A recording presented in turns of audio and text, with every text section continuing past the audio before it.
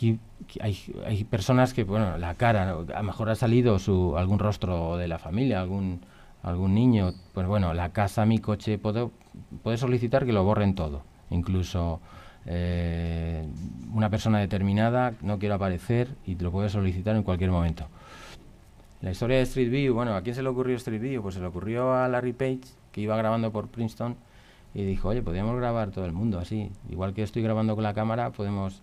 Y nada, allí en el 2007 pues se puso a, utilizando una serie de, bueno, pues los famosos coches y tal, pues ha estado digitalizando y aquí podéis ver, eso es toda el área del mundo donde está, digamos, presente Street View, ¿no? Por ejemplo, en el ámbito de Google Business Photos, obviamente los países que no que no está Street View, pues mm, se le puede hacer eh, una sesión fotográfica, ¿no? Por el asunto de que la sesión se vincula, luego lo veremos, con el recorrido del coche.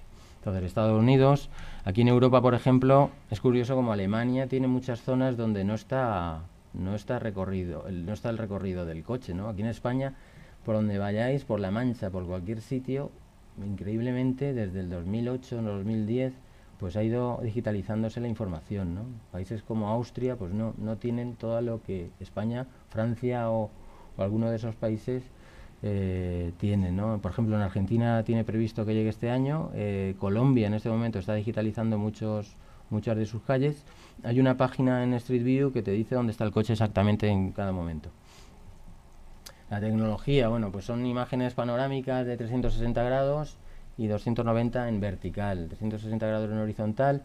Utilizan GPS y láser. Mm, el láser lo que hace es que ubica la imagen a la hora de solicitar